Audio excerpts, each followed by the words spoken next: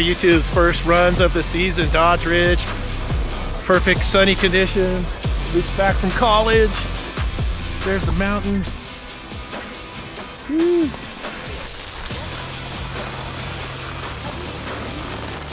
We're gonna head out that way.